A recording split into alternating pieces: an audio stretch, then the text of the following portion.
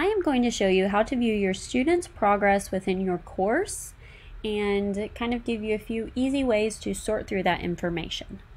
To start off, you need to be in your Canvas class period that you want to view the students and their information. Then on the right hand side, you'll notice it says New Analytics. It may show up on your navigation as well, but it'll for sure be over here on the right. So you're going to click on New Analytics.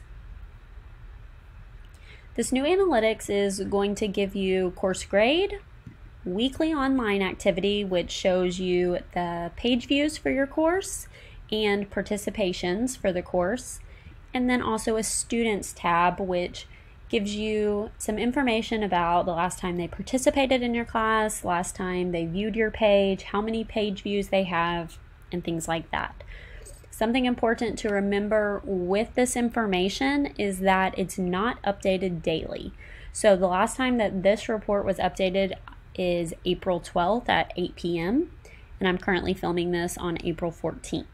So this is not something you would want to use daily to keep track of your students, but it's a good tool to use at the end of the week to kind of give you an overview of what students you may need to contact or what parents you need to reach out to because the child hasn't viewed your course or hasn't started working on assignments in your class. So one tool that I like in this is you are able to sort it by class period. So if you wanted just your sixth period class, you could click on that and it would show you in green just that class period. So then you can kind of see, okay, in that class period, how many students are doing this, this, this, or not logging on, or things like that. Another feature that I like within this weekly online activity is you're able to message students who. So if you click on that, you'll notice that it pops up with four different options. You can message students who viewed a resource, didn't view a resource, participated, and didn't participate. In my kind of trial and error with this, the participate and didn't participate doesn't always line up as perfectly, but the view and didn't view is a good tool that you can use. For participate and didn't participate, I like to use the access report a little bit better as of now because they're still working through some kinks within this new analytics. So if I go to didn't view and then I go to my resources, then I can see what students didn't view my distance learning number one Nearpod. And it'll show the one student. I can click on that student to see who that child is. And then I can send them a message saying you need to complete this assignment. So then I know they didn't view the page, so they obviously didn't complete the assignment. So that's just one more way to message and keep track of that with the students, and then I can send it to them. Another feature that I like is on the Students tab. If I am trying to see when students have logged in or haven't logged into my course, and uh, trying to keep track with contacting parents and things like that, this is a really, really, really helpful feature because I can sort it by class period, whereas the people tab you cannot do. So if I was going to my sixth period, for example, right now it is sorting it by my student's last name. You can see the little caret next to it means that's what is being sorted. If you click on last page view, which is the last time they accessed my course, not Canvas in general, but my particular course. If I click on that header, the caret moves next to that, and then I can see the last dates that they viewed my course. Remember, this is not updated on a daily basis though. So the last time this was updated was on April 12th, which I believe is a Sunday.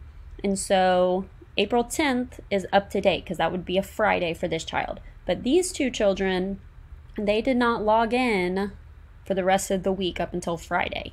Um, so that would kind of give me an overview of those are students that I need to reach out to for that week that didn't sign into my course. So then I can move over to the Peoples tab because like I mentioned, that is a little bit more helpful to see a daily updated view. So I'll remember this child's name and then I'll come over here to my People tab on the navigation. I'm going to change all roles to just the students. I don't want to see the observers for now.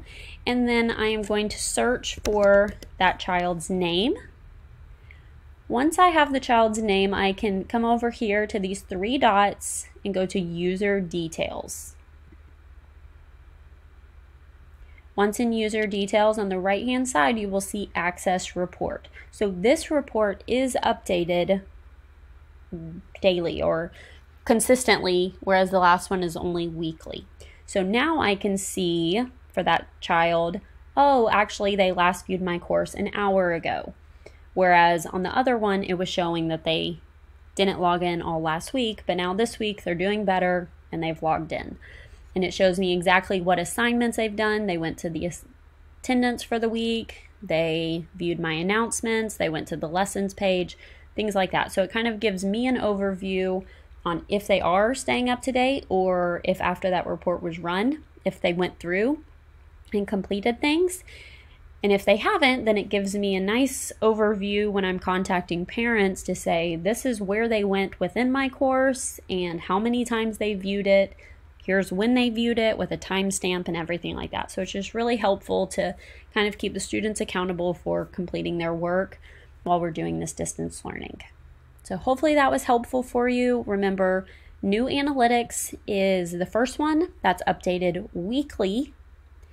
It's helpful because you can sort it by class periods and also because you can message students who didn't view particular resources or assignments you can go to the students part to view class by class and then sort it by the last page view to kind of narrow it down instead of having to scroll through all of them in the people tab.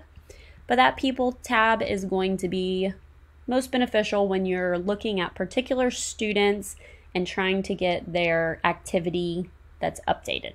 So I hope that helps. If you have any questions, feel free to reach out.